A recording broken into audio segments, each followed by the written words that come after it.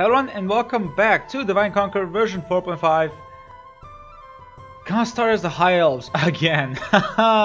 this is the bane of my existence on this on this channel, honestly. But I'm not gonna rest until I fucking complete my goal. Uh, this is Shattered Alliances, no allies, 50 regions, all of this shit we need to. What's our goal? Kill the dwarves! I'm sorry, I had to yell my goal is to kill the dwarves. I want to massacre them all. I want to kill them all. Why? So that the Dunedain can't ally them. So when I deal with the dwarves, I can go deal with Angmar, clear mind that Dunedain not ally the dwarves, then I have to attack the dwarves because they liberated Deadman's Dyke, and it's like, uh, yes, yeah, I had a, I had a, a situation. Um, in my, on my laptop, when I was playing, um, I actually did a lot, like I conquered a lot of Eriador, and then the Whoa. And then the, uh, the, the dwarves conquered uh, conquered uh, the Menzaik, which I was trying to liberate, by the way, to give it to the to the Dunedain, because I want them to rebuild the Numinas. Uh, yeah, no, um, didn't happen. Wait, you you, you can build a Numinas, right? You can rebuild them in. It, there's no reason why you shouldn't be able to. This just stops some... Oh yeah, by the way, there's no invasions in Shattered Alliances, which means... yeah, we're free to conquer the dwarves earlier than expected. Set up an ambush. So, first order of business. What are our key goals? This and this. Uh, first take this into this, then take this and this. We're gonna try to cuck the dwarves as quickly as possible. Uh, as you might uh, notice from my talks or my uh, playthroughs, uh, more, more, precisely my Dorvinian playthrough, which I have started, which I hope you checked out, um, I say uh, a lot. Shit. either way, the elves have gotten above. Elves, at least the high elves, are now considered the third biggest army in the game. Trailing behind the the, the Numenoreans because fuck it, elves have to be nerfed somehow and fine. This will be their nerf. No more! Also, uh, another change that I made. First and foremost, Mithlond. Huge changes. One, population growth. This is all same. Uh, this will give us. This will give us the Noble Return Legion once I rebuild the Gwaith-i-Mirdain and it will give us a 7 armor upgrade. That's why that's why that's right. The dwarf uh the in in my lore the Noldor rival the dwarves in terms of smithing as they should. Let me remind you who built the rings of power. It isn't the fucking dwarves. So yeah, the same thing with uh, our with our with the last lonely house. It has uh, the Calaquendi nobles. Yes, that's the change uh, for. Oh, I can't show you guys shit. That's a uh, renaming of Mithlond nobles. Now there's Calaquendi nobles, and of course the Noble Return Legion immediately giving us. And uh, it, later on, once we rebuild the Gwaith-i-Mirdain, it will give us 7 armor upgrade. It is uh, it is the means to end all things in the world because of course it has to. So yeah, I hate that there's Dunedain, but I get it why. You know, fine. The Dunedain will help the elves. Boo. The elves don't need no humans. Don't need no human help, but ah, fuck. Alright, so that's being moved. Everyone has been moved. I'm recruiting the agent. Yes, I am. I'm recruiting soldiers. Yes, I am. I'm moving the whole army. Yes, I am. Good. Uh, let's end the turn. So, another thing I have kind of I hate about the AI is the Gobbos AI gets too many units, in my opinion. The Gobbos AI actually swims with units. Which I think is a little bit ridiculous, honestly. But hey. They're Gobbos. They need it. Yeah, I know, I know. They need it, they need it, they need it. But it gets ridiculous sometimes. And maybe I'm just speaking out of uh, a player who is inexperienced, which fair enough. I'm completely am that. After all, I'm a person who failed an Elven campaign. Set up an ambush. so, who am I to speak about anything? Follow me. Um, yeah. Attack. Thank you very much. Let the ruins! Fornost reclaimed. Yep, yep, yep, yep, yep. I will gladly help out Fornost. My lord, your orders.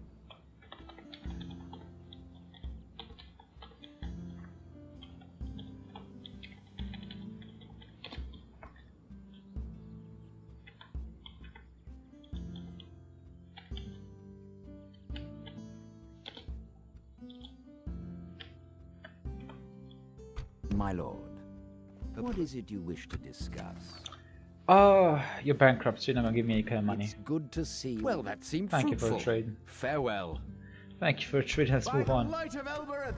Over here, The elves! Shire has reached. Shire is unbelievably rich. Shire is unbelievably rich. I'm even gonna talk about Honor Towers. Honor Towers is a gold Like mine because of the Palantir, so... ready.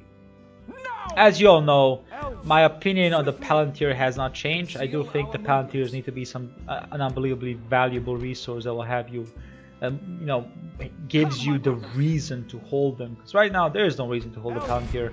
I cannot assault you. That's fine.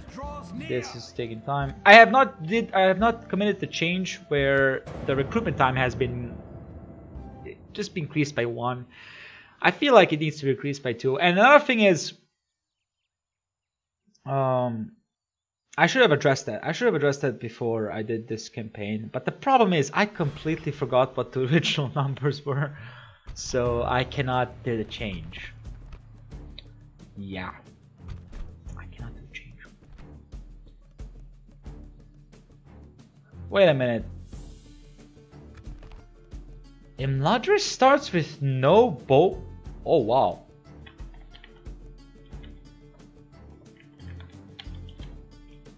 Imladris starts with no Lindar uh, shield ma- Lindar guard. L- yeah, Lindar. These are Lindar Boremen and there's Lindar Guardmen or Evil Lindar must Guard, not whatever. be allowed to triumph Um, this day!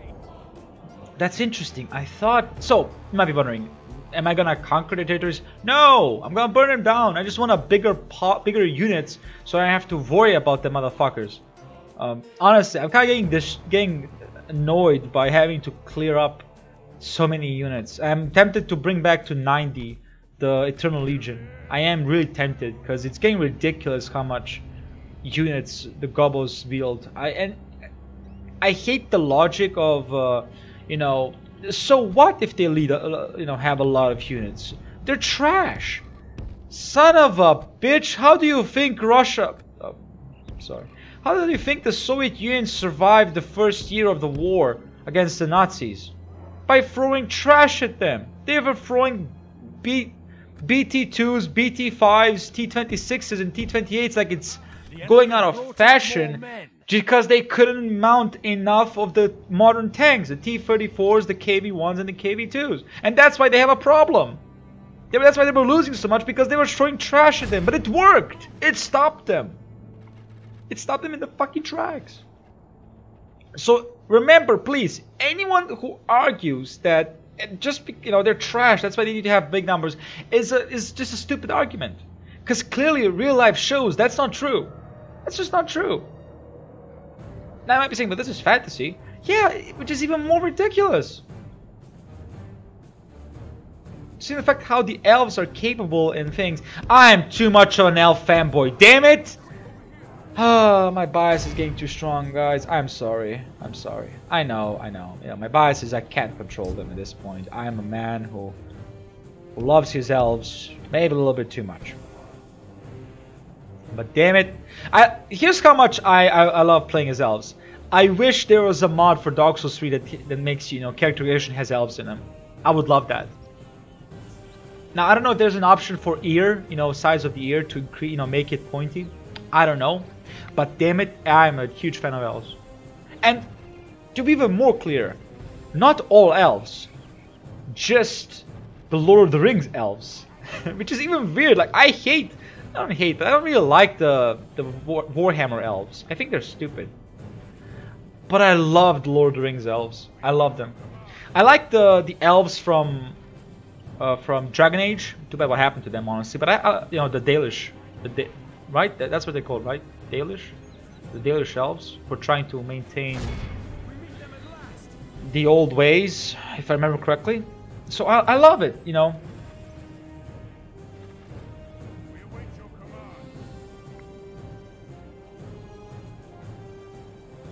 But yeah,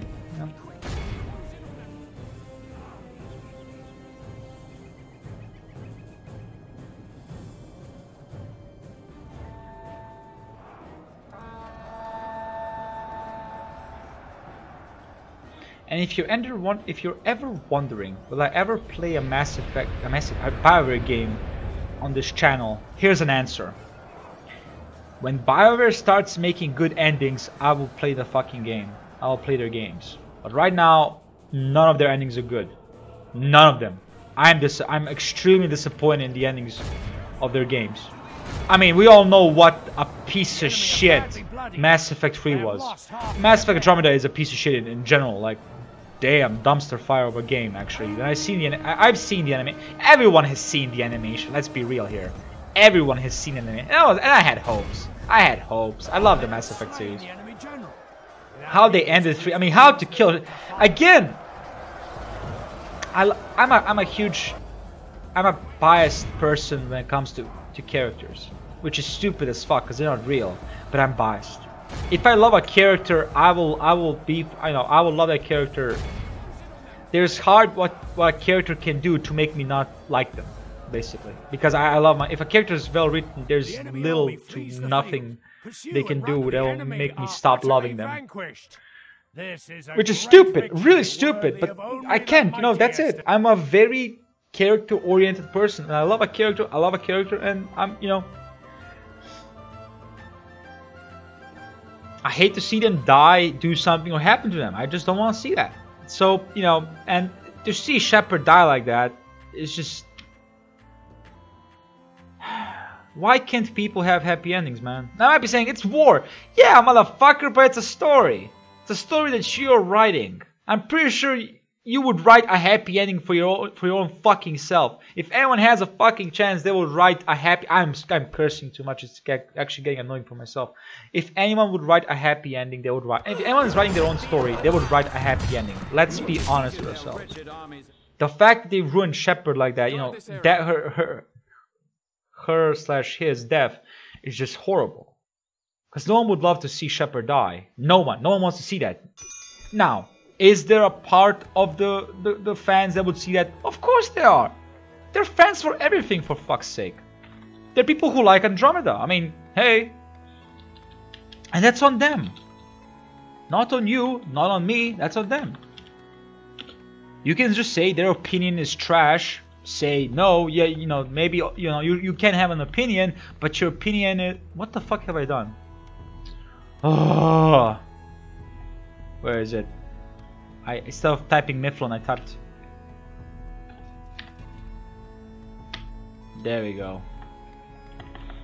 Uh, you know, opinions can be horrible, and you can just dis- uh, you know um, disregard them. I, I don't know why people think that all of a sudden everyone's opinion is equal. No, no, no. You can have an opinion, no problem whatsoever. Have an opinion, but if your opinion is horrible, you should disregard someone's opinion if it's horrible, pure and simple.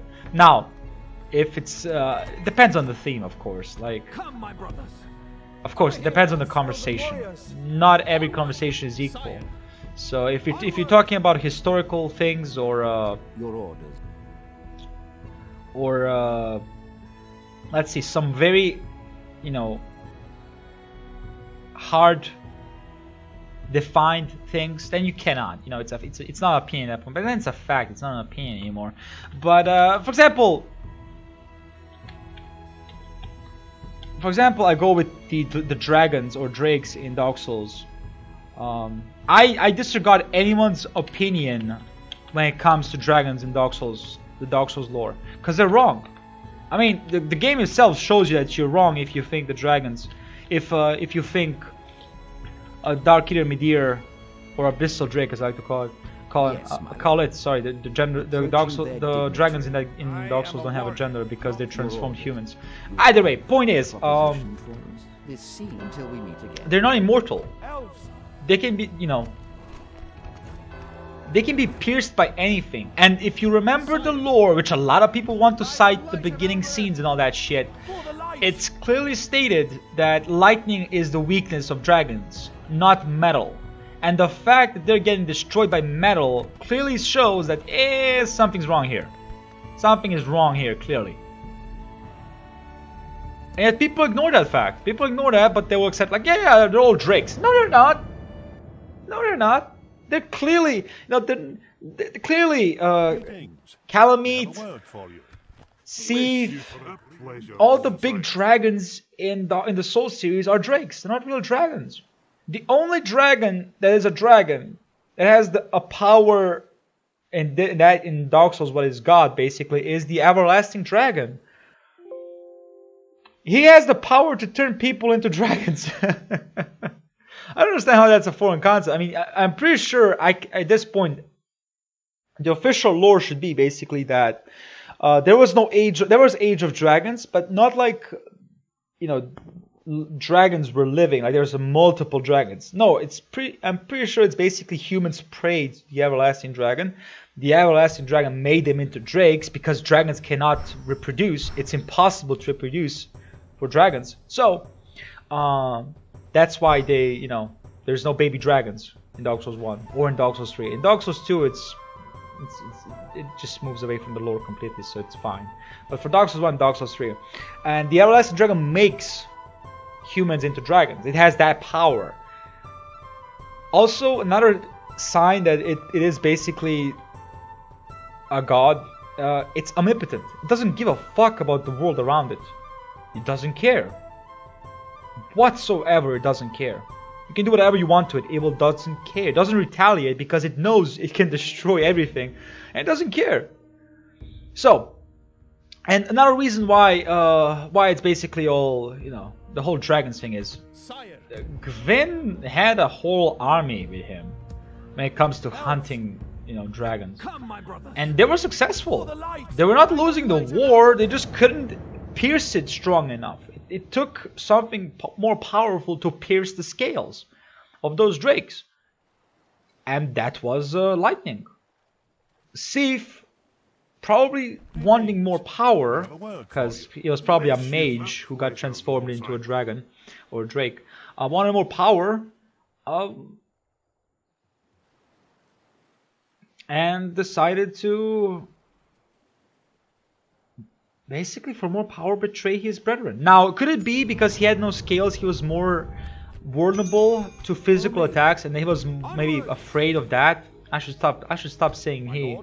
Like I said, dragons don't have any kind of uh, they don't have a, a gender. They they're just I, they're it. They're beings. So, but it's it's just you know Sif clearly a male name. But anyway, point is, um, Follow me. Excuse me, what? I'm gonna stick you. This is a first. They're actually trying to. Sire. What? Follow me. Take it for the I mean, let's stack him. I have to. I don't want him to get it close to him, Andres. Um. Put an end to this evil.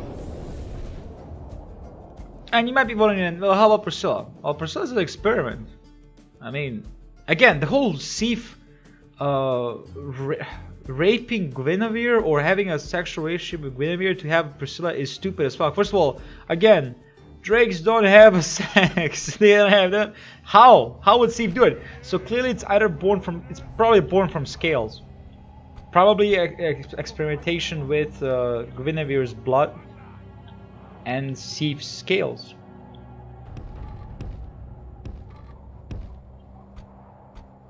If not that, then maybe a sub different kind of DNA. Maybe Sif's blood. No reason why Drakes wouldn't bleed. Let's be honest. No reason. So yeah, um, I, I, I'm heavily against the opinion if anyone says that, you know, that the Drakes in Dark Souls are dragons. I'm heavily against that opinion. I think, you know, that's not true at all. Not at all true. Not what the game shows us. It ain't true.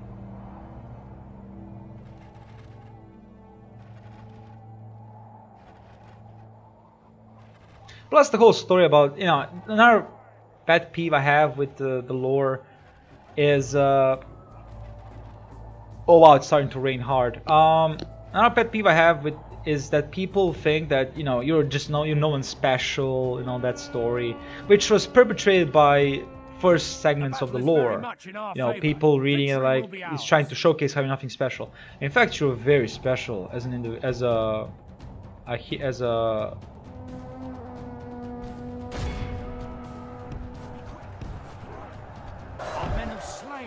as uh, undead, you're very special. You have the same power as Gwyn does. Same power. Gwyn is, uh, you know, capable of absorbing souls. Clear point. He absorbed the Lord, the the Lord, the Lord soul, um, and you're capable of doing the same thing. Only half the enemy force So, yeah. remains.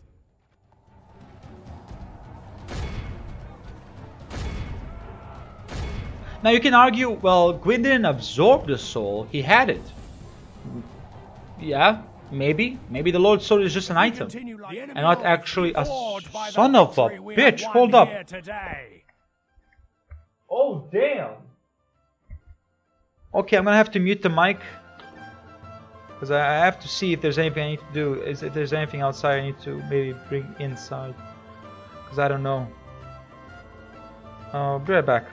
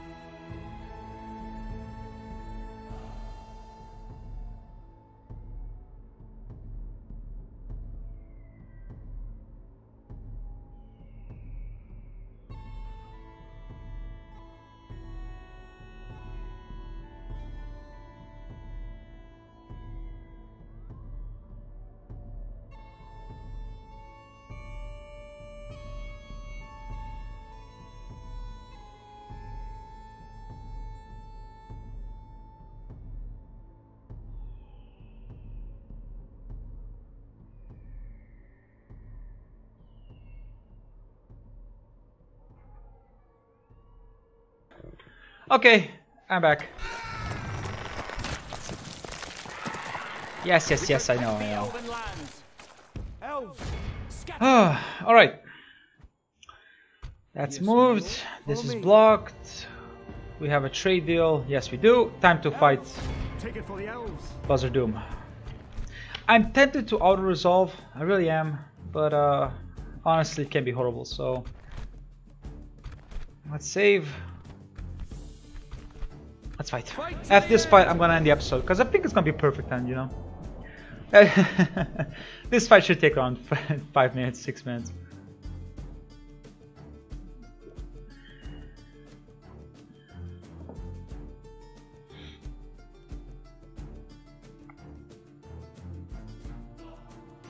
Orthanc and Isengard. Who are you? I'm Isengard. What do you seek, Isengard? World domination. Oh damn. Straight up, huh? World domination. No what, no ifs, just, just, just world domination.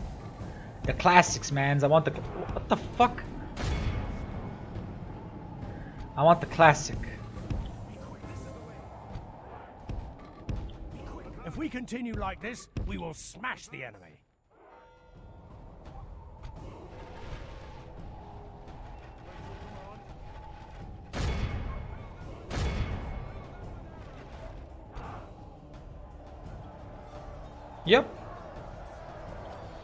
It's going as expected. Please kill him faster. Please. Oh.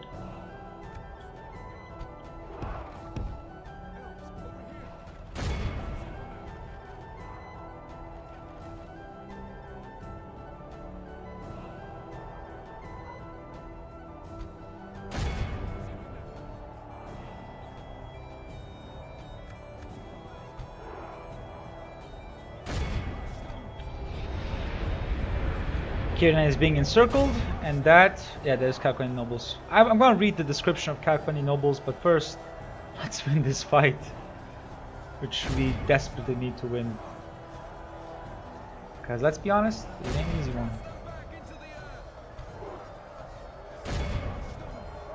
There's a lot of enemies here. A lot. Hmm. Okay, I think we actually cleared up a lot of the...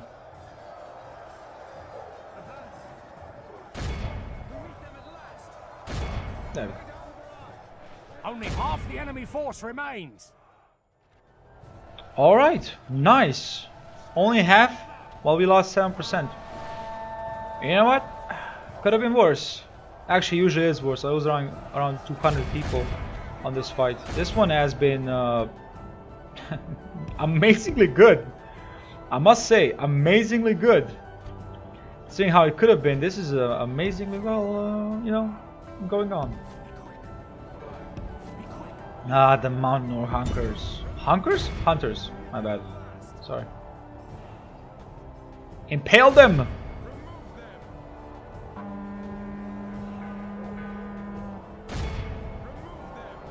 I don't know why the now I'm pretty sure the, the bodyguard will not flee. The but they will die. nice. Disengage. Engage. Time to play a little bit uh, of uh, shock infantry, because clearly that's what they are. Early levels of, of shock infantry. Our men are in command of the city. Hmm. Okay. The enemy are utterly vanquished. This wow. a great victory worthy wow, that was good. mightiest of generals. That was good. Nothing more I can say, but it was good. If I said anything more, it would be a lie.